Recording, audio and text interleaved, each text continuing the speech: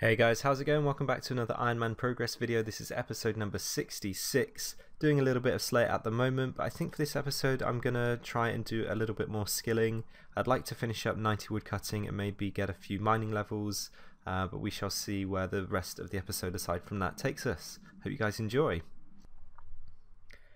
And that is 86 mining. I'm just testing the sandstone method for collecting buckets of sand. I am using 3 tick or at least attempting to. I'm not sure if I'm doing it properly, but supposedly you can get between 5 and 6,000 buckets of sand now using 3 ticks, so that would be pretty good.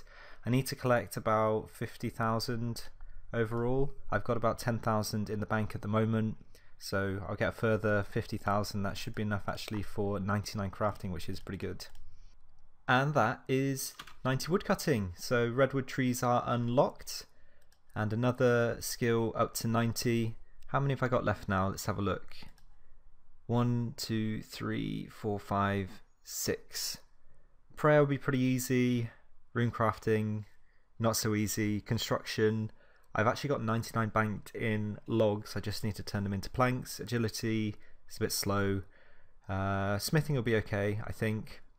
Mining, I have actually been doing a bit of mining um, at the quarry to get some sandstone. Um, so once I've got enough for 99 crafting, I'll just switch back over to Motherlode. And I think I've actually got a couple of fletching levels banked in yew logs now, about 7,000 logs, so I'll make those into bows. I don't really have much uh, use for those other than fletching XP, so that's pretty good as well. Got myself another pair of granite gloves. I think that might be my third pair overall. Um, yeah, closing in on 300 KC here. Kill number 300, so another 50 done. I do 50 Grotesque Guardians every time I get a Gargoyle task in the hopes of getting the Black Tourmaline Core for the um, Guardian boots. And that is 87 mining. I think I need to get about 15,000 more sand from here. I filled it up once all the way up to 25,000 and I needed 18,000 more so yeah that shouldn't take too long. I don't think it will get me too close to the next level but I will go back to Motherlode Mine um, if I want to train mining after I'm done here, I think. Got another Kraken Tentacle. I think that might be my eighth one overall, so 7 out of 10 for the extended Trident of the Swamp. So that's pretty cool. I'm very, I've got really good luck with these actually. Alright, got two clue scrolls from mining sandstone, an easy and an elite. What can we get? Nothing from the easy. Ooh, a deer stalker from the elite. I don't think I've got that, and I'm hoping it will go in the house so that it doesn't take up a bank space. I can't think of any other items that might make up a set for that, but that's pretty cool. And that is 88 mining. I actually finished all of the sandstone mining that I need for 99 crafting and I was pretty close to the level so I figured I would just come and finish it at the gemstone mine. I will eventually need a bunch of topaz for making burning amulets for training prayer at the wilderness altar I uh, don't know exactly how many I need. I might have enough now um, for 99 prayer, we'll see. Um, but yeah, nice to knock out that level. So, as mentioned, I do now have all of the sand and giant seaweed required to get 99 crafting. I'm, I'm pretty sure this is the amount that I need. I do have about a thousand more giant seaweed in the bank in case I've miscalculated it. But either way, with all the materials I've got in the bank, I definitely have enough for 99. And the question now for me really is when to actually start working on that. Um, 99 crafting wasn't really on my list of goals for the short to medium term, but now that I've got the resources, I kind of do want to knock it out. Um, I've calculated that in total, I think it would take about 36 hours to complete. It would be about 6 hours of super glass make and then 30 odd hours of uh, blowing the glass. So um, really the question is when do I want to do that? I'd be quite curious to get your guys' feedback if you would like me to spend an episode just training crafting. Um, I think I would be happy to do that in a couple of episodes' time. I mean, 36 hours, that's probably the amount of game time I would spend on an episode, maybe an episode and a half. But yeah, if you guys would be interested in me gunning straight for 99, do let me know. Otherwise, I can just start chipping away at it. Um, we shall see. Two more clue scrolls that I picked up from sandstone mining, a medium and an elite. What can we get? Uh, Hosidius Banner, I'm not sure if I've got that. Might be a unique. And the elite. Yeah, nothing, nothing too good from that one. Back at Zammy, I've got a task of 200 Greater Demons and picking up yet another Steam Battle Staff. genuinely lost count of how many I've had. I think that might be number six. Could be wrong. Hoping for the hilt. And that is another one. That is my seventh Steam Battle Staff overall. Pretty ridiculous. Well, that is kill number 600. Doubtful that I'll get anything on that drop. But that's another Zammy Spear. Uh, yeah, again, I don't know which which number that is. Might be number 6, might be number 7.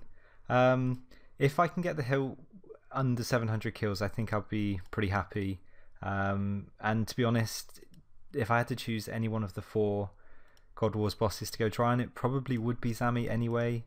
Uh, I wouldn't want to go dry on Bandos just because finding a world for that is uh, always going to be tricky at peak times. So, yeah, Zammy, Zammy kills are pretty quick, and it's not too hard to get a, a task of Greater Demons. So, yeah, surprised to get a, a drop on uh, 600 KC, but there we go.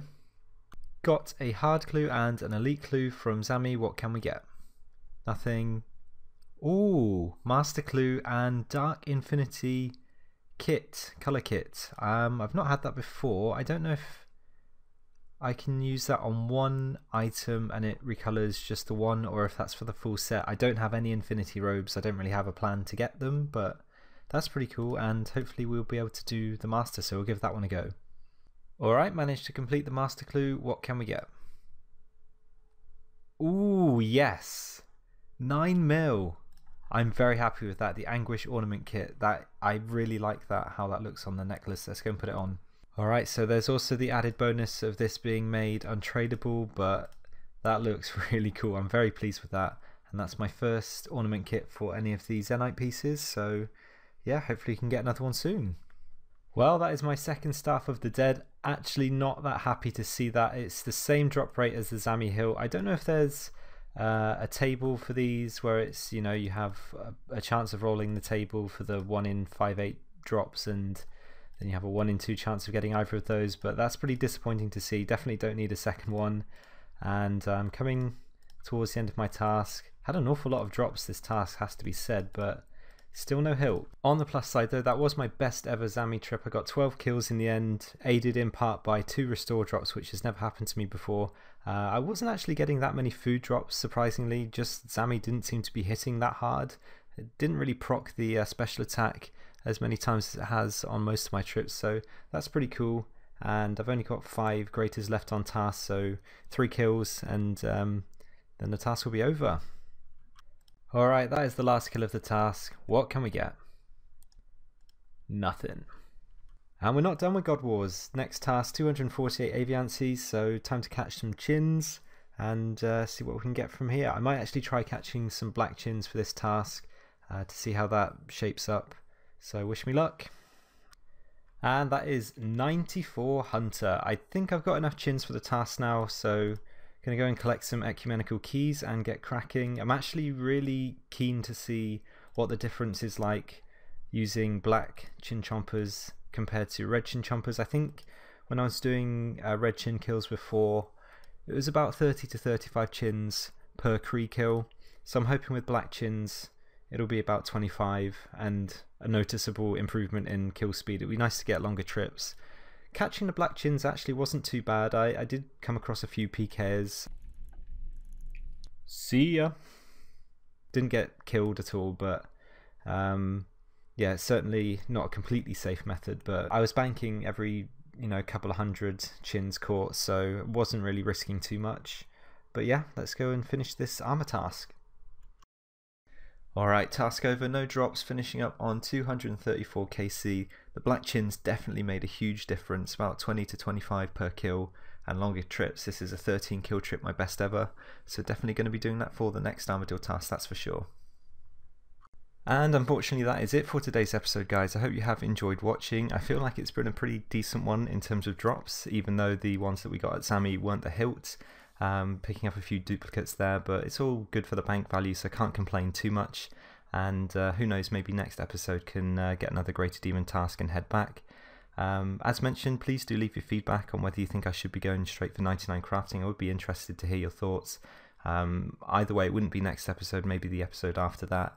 Um, and yeah, just intrigued to hear what you guys think. Thanks again for watching and take care.